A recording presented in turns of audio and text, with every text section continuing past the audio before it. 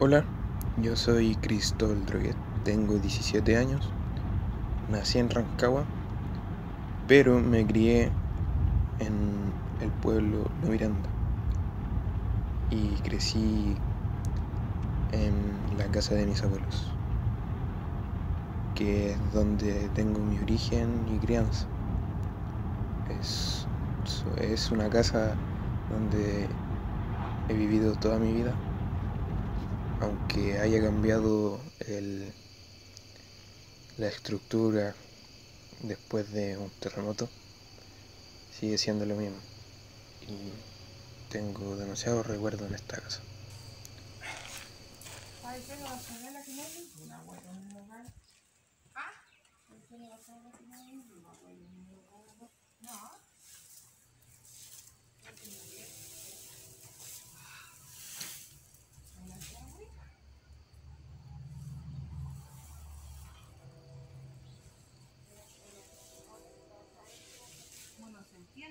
Mis papás se conocieron desde la niñez, siendo mayor mi mamá siete años que mi papá.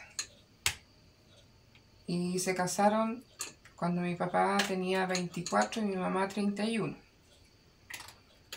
Nacieron mi, nació mi hermana mayor, después vengo yo, después vienen cuatro hijos más, somos seis hermanos. ¿Qué recuerdos te provoca esta casa? Esta casa. Hay recuerdos bonitos, también hay recuerdos tristes. Los bonitos son que aquí crecimos, nos, hicimos grandes, eh, nacieron mis hijos.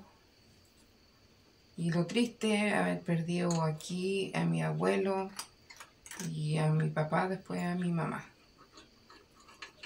¿Te gusta vivir acá en Lo Miranda? Sí. No, no me encuentro eh, dejando este pueblo, ya que es, es donde he pasado la mayor parte de mi vida. ¿Qué cambiarías de este lugar? Hacer mi casa nueva. ¿Qué extrañas de, de los que ya no están? Extraño. Extraño a mis padres. Porque eh, cuando hay etapas que es triste llegar a la casa y no estar con ellos. ¿Qué época te marcó más a ti? La muerte de mi mamá. ¿Qué significan para ti tus hijos? Eh, una, una etapa bonita, saber que hay alguien que nace de ti, nace de... y formarlo como persona aunque a veces se reniegue de la educación que uno le está dando. Pero es lo que uno le enseñaron y uno lo quiere proyectar en los hijos. Estoy grabando este tejido. Después me este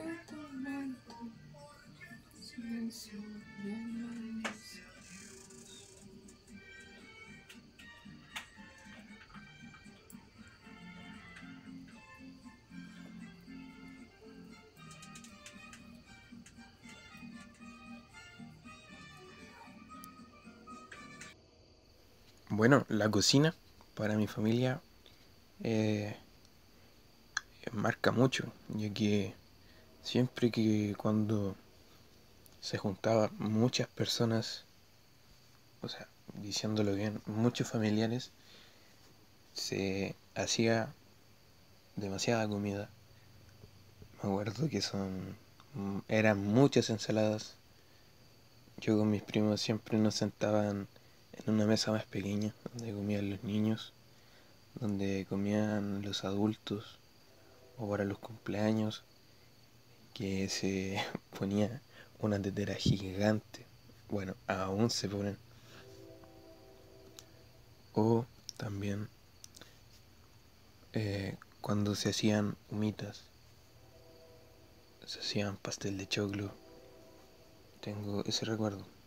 Bueno, hoy en día no se hace mucho, ya que por lo del coronavirus, pero uno sigue siendo, sigue haciendo cosas, como cocinando eh, pasteles, pais o lo que a uno se le ocurra.